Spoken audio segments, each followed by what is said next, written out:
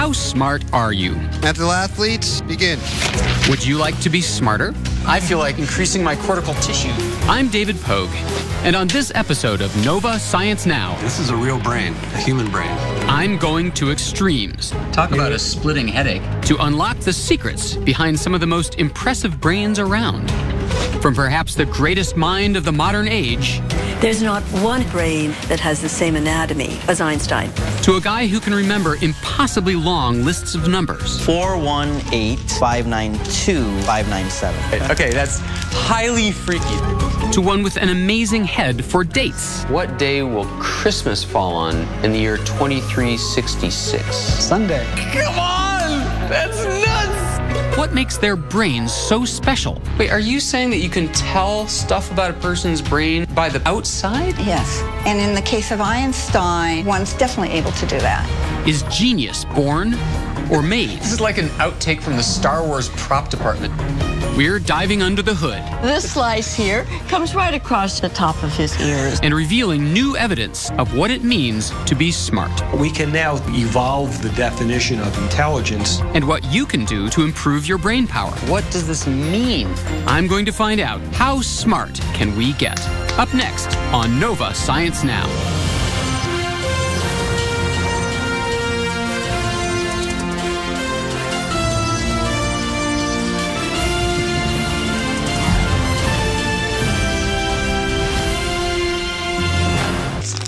I decide to put this memory technique to the test. So I invite Chester Santos, the 2008 U.S. memory champion, to use it to memorize a list of 60 numbers. This would take me the rest of my life. I could definitely do this in five minutes or less. Go.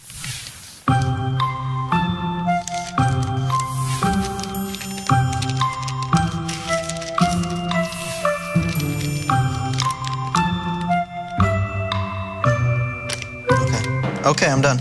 I got it. You're done? I got it, yeah. Just let me know if I make any mistakes, okay? Just let me know if I Oh, you can mistakes. count on it.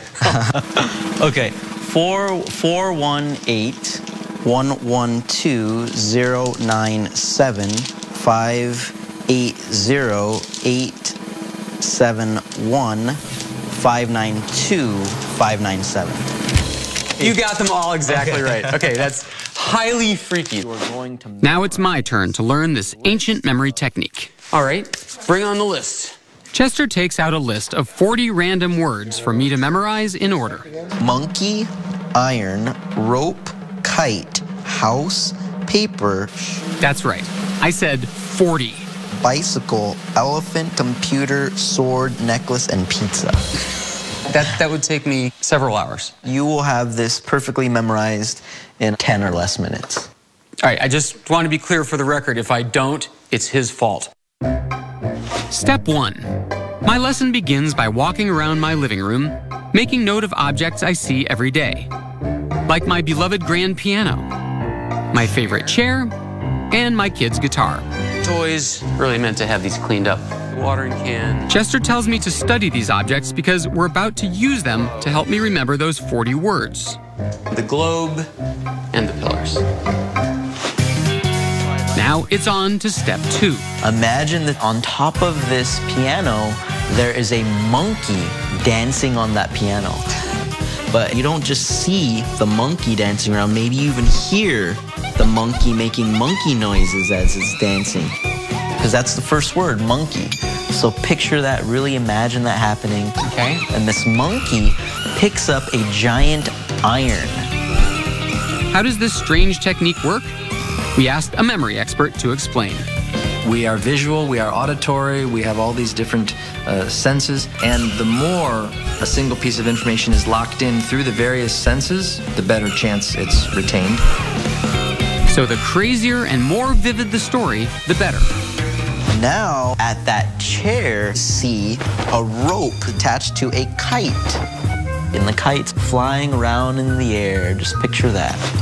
The guitar is smashing into a house. And you discover that the house is made of paper. Now, all your visuals are very active and, and there's a lot of motion to them. Is that part of it? Exactly. We tend to remember things more if there was something interesting actually happening rather than just a stagnant object that's just Right. sitting there. So a dancing monkey, a shooting rope, a smashing guitar. Perfect. Further down the list, my tissues are having quite a memorable experience as they get run over by a bicycle with an elephant perched on top. Can you see that? I can. Something's Great. wrong with me. But you will remember this stuff. Yes, for I sure. will You remember definitely that. remember that. The time has finally come. I don't have any particular confidence as if this I have a lot of confidence. beyond the monkey. you. I know I got the monkey. So on the piano, we have monkey and iron. And then next to it was a chair, and that had uh, rope and kite. And then guitar, the smashing a house, paper. Lo and behold, as I mentally traverse the room, That's right. the words come pouring out. A river. That's right. right. Rock. That's correct. Tree. That's right. Cheese. Correct. But then, There's something about the tissues. Uh, I'm sure it had something to do with smashing. Um, something violent. Uh, let's see. The tissues. Uh oh. The tissues were getting run over by. oh. Uh, oh, a, a bicycle ridden got by an elephant. after a close call, I miraculously whizzed through the rest of the list. The necklace and the pizza. Awesome. Great job. That was great. Next year's memory champion, David Pogue. Thank you. Thank you. Incredible job. I want to know what parts of my brain accomplished this Herculean task. Yeah. So we're not seeing. I asked Dr. Zagzag and Golfinos to show me. So why don't you Are you kidding me? This is what I call a brain knife. Um. So. so please This one's going on the resume. Okay, ready? right there. Oh man. Oh. And I am very happy to inform you that you have made the most symmetrical cut. And the two hippocampi are right here in front of you. just below the pointer. The hippocampi are toward the middle of the head, just a few inches in from the ears. These tiny structures help store our short term memories. So that little thing is our memory? Short-term memory, yes, sir. Wow. So what about these people from memory championships? They translate everything into visual metaphors. So if you think about it, they're attaching extra information and using other parts of the brain, the part that processes language, the part that processes images, and that's how they attach them onto the memory and make it a stronger memory by recruiting other parts of the brain to help. Having a good memory is important. He's your man.